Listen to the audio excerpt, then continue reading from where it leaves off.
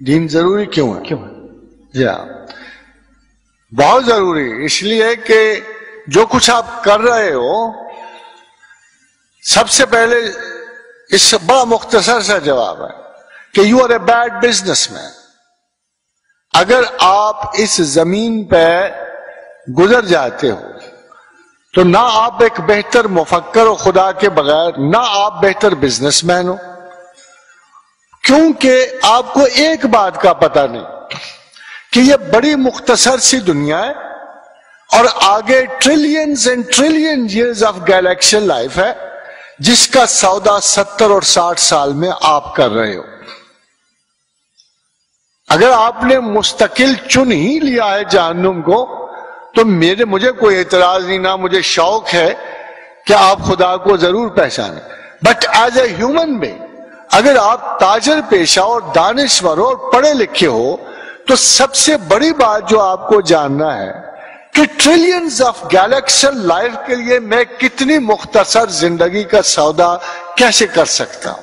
اس لیے مجھے خدا کی ضرورت ہے کہ وہ اگلے سارے زمانوں میں، سارے وقتوں میں اور اس زمانے میں مختصر زندگی میں بھی میری زندگی پہ مکمل ہر چیز کی ضرورت کے لیے خدا حاوی ہے۔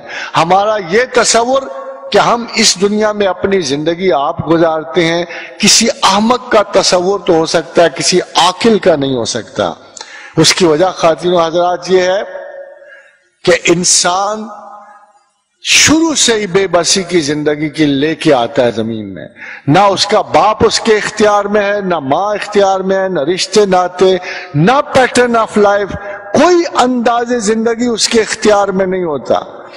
بارہ چودہ سال تک وہ ایک محض جبر اور مجبوری کی زندگی گزارتا ہے۔ نہ وہ کمانے کے قابل ہے، نہ کھانے کے۔ نتیجہ کیا ہوا؟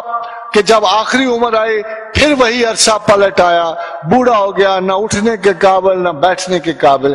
کیا تھوڑے سے چھوٹے سے وقفے کے لیے میں سمجھوں کہ انسان صاحب اختیار ہو گیا اور اپنی زندگی خود گزار گیا، گزار رہا ہے؟ یہ غلط ہے۔ انسان کا کوئی بندوبست انسان کے اللہ نے سپورٹ نہیں کیا۔ اس کی فیسلٹیز ضرور بنائی پروٹوکول دیا، ماں باپ دیے، گھر دیے پیدائش کا وقت دیا، پیدائش کے مقام دیے، تعلیم کی سہولتیں دی، مزدوری دی، پیشے دیے، اور آخر میں صرف ایک کام کے لیے سب کچھ کیا کہ جب تو کمر، قبر کے سراہنے پہنچے تو میں تجھ سے پوچھوں گا، من ربو کا زمین سے گزر آئے، عیش کرائے بال بچے پال آئے، زندگی گزار آئے، جابز کر آئے، محبتیں کر لی اب مجھے بتاؤ کہ خدا کون ہے، کون پہچانتے ہو تمہارا رب کون ہے and if you can't answer him back you have failed if you can't answer him back you have failed اور اسی وقت اللہ میں ججمنٹ سنائے گا قبر کے قریب اور سرے پر۔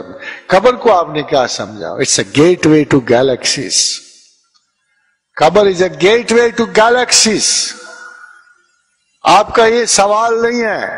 یہ تو داخل, داخل ہونے کا ایک پیپر ہے۔ اگر صحیح جواب دو گے، ادھر کی بھی گیلیکسیز ہیل کی کھلی ہے ادھر جنت کی گیلیکسیز کھلی ہے قبر وہ دروازہ ہے جہاں آ کے آپ کو فیصلہ سنایا جاتا ہے کہ کن گیلیکسیز کو آپ نے مڑنا ہے۔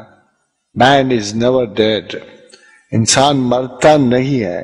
ہاں جو لوگ سمجھتے ہیں، جیسے اللہ نے قرآن میں کہا کہ ان کا گمان یہ ہے کہ وقت ہمیں زندہ رکھتا ہے اور وقت ہمیں مارتا ہے۔ بھلا بوسیدہ ہڈیوں میں پھر جان پڑے گی؟ تو خدا کہتا ہے کہ یہ ایسی بات اس لیے کہتے ہیں کہ کم علم ہے اور جانتے نہیں ہیں۔ جو اللہ کو جانتا ہے، اس کو اللہ کی ضرورت ہمیشہ رہتی ہے۔